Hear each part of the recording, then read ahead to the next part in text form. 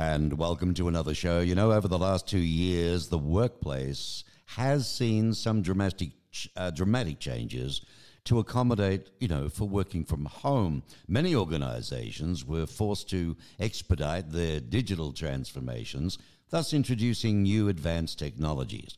Now, the issue that continues to be raised, though, by this rapid transformation is the difficulty of finding candidates with the right set of skills.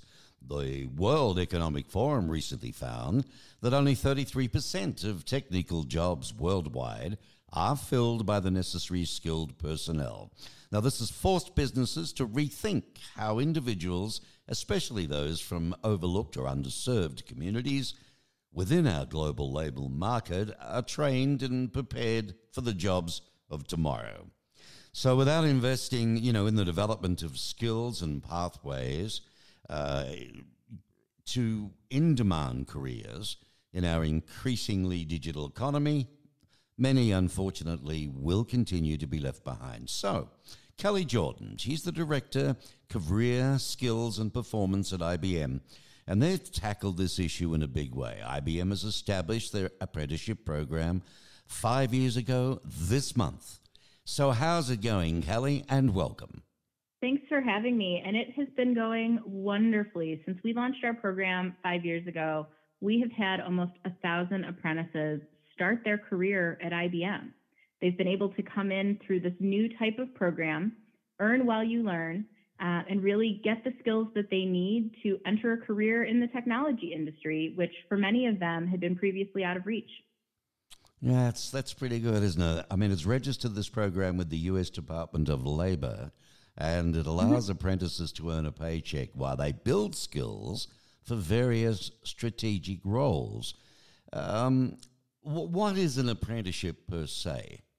So, for us, it is about a 12 month program um, where a candidate comes in, an apprentice comes in, and they are doing learning and working on an IBM team. So they are acquiring knowledge, building skill, and applying that skill all at the same time. And they're getting a paycheck while they do it, which is really exciting. So it's a great can it's a great program for people who may have felt like college just wasn't the right path for them. Um, for people who are maybe making a mid-career transition and trying to get into something new. And it's a great way to really think about bringing in talent from underserved communities who had previously really maybe not had that connection to opportunities in the technology industry. Mm, yeah, because there would be quite a few that miss out. So, in effect, IBM believes that apprenticeships can help close the opportunity gap. So, how do apprenticeships, though, Kelli, help address the labor shortage and create a more, you know, uh, equitable workforce? There are hundreds of thousands of Americans, not millions, that are shut out of the workforce today by something that we call the paper ceiling. It's really that invisible barrier that prevents them from moving forward because they don't have a bachelor's degree. Yeah. There's 62% of Americans that don't have a bachelor's degree today. So that's a huge, huge number of people who maybe have the skills but haven't been able to realize what their potential is. So programs like apprenticeship really help all companies break through that barrier and gain access to a much more diverse pool of skilled candidates. For us, that really has helped us to skills at the forefront. You know, we are all competing for the same candidates. Every company needs technology skills today, regardless of the industry that they're in. And so by making more jobs accessible to people who previously have not had the opportunity to even apply, you're automatically helping to create a much broader labor pool and helping to create opportunity for more people to enter the workforce.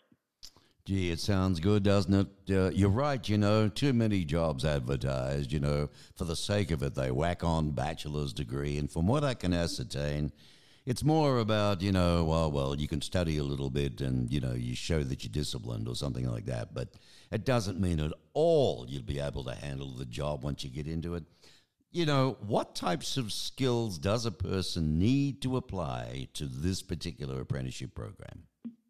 We're looking for what are commonly known as the soft skills. So things like curiosity, a growth mindset, adaptability, teamwork, and collaboration. The entire point of the apprenticeship is that we're going to teach you those technical skills. So it's those soft skills that are really helpful in not only succeeding as an apprentice, but that are going to serve you well as you graduate from the program and progress into a full time career. You know, uh, IBM, big company, been around for a long time, great divisions all over the place, but $250 million. That's a lot of moolah in this particular whole program. Why? Well, what am I trying to say? Why was it important, do you think, you're right, for IBM to even bother to start a program like this? We've always really put skills first. And so for us, that meant starting internally, making sure that we were removing degree requirements from our jobs and thinking about programs like apprenticeship that could help bring more candidates into the technology industry. That's when we coined the term new collar, meaning careers in the technology field that require skills, but not necessarily a degree. Careers that fall between blue collar and white collar on that spectrum. Um, you know, but I think what we've been able to show is that apprenticeship in the technology industry, which is pretty new, can work. Over five years, we've had a thousand apprentices come through our program, and many other companies are now starting apprenticeships in their industries as well, which was something that we hadn't seen in the past. Mm. Yeah, well, I grew up with that in Australia. A lot of apprenticeships started at the bottom line, and if you're with the company, you're learning their way, their culture at the same time while you're being trained. It's a great idea what you're doing here. And all those uh, numbers that have gone through. Now, let's look at somebody who's not technical. Can they actually start with this and still end up, you know, pretty good at the end of five years? Oh, they absolutely can. Of those thousand apprentices, I've got probably a thousand different stories I could tell you. We have had former baristas, former rideshare drivers, firefighters come through our program and graduate as software engineers at IBM. One of our current apprentices uh, is Jordan Bond, and he was working doing accounting work at a car dealership. He ultimately lost his job as a result of COVID, but thought to take his first stimulus check and buy himself a laptop and started to sign up for some online Python and data science courses, which is what made him land our data science apprenticeship. And so he's working through the program now, but was able to make that transition from something a little more non technical to a role in the technology industry.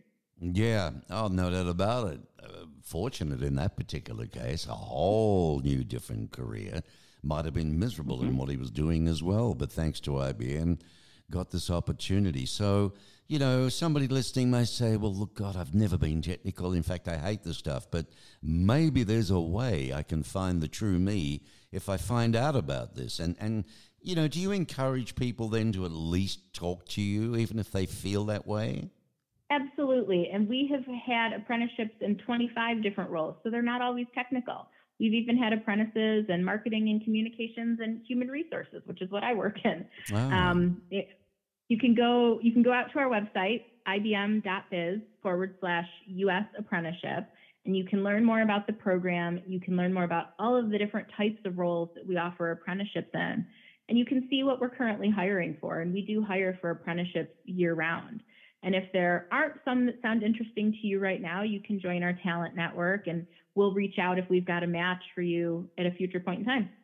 Well, isn't that good? So, any mom and dad right now, you know, grandma, granddad. I mean, you're talking to your grandchild. He's not sure what he really where he wants to go. And he doesn't feel he's good enough for this or that. Not the case. This is terrific. This isn't just about technical. There are other opportunities, and all they've got to do is go to visit this particular website and sit down and have a read, go right through it, see what can be offered, and then uh, they contact. Do they end up contacting you directly, Kathy, or is there a, like a chain to go through? Um, any contact through there will come in through our talent team. So it would be a way to connect with us at large. Right. Isn't that terrific? So let me make sure I've got this correct address now. It's uh, www.ibm.biz, b i z forward slash USA apprenticeship, all one word, USA apprenticeship, right? Dot com. Uh, forward slash, it's um, ibm.biz forward slash US apprenticeship. Ah, so there's no A in there. Huh. Okay. Just one, just one, not two. Let's be sure before you go. IBM.biz forward slash US apprenticeship com. Okay? All right. Thank you. Fabulous. Good stuff. Good job, Kelli. Keep it up. Bye bye. Bye.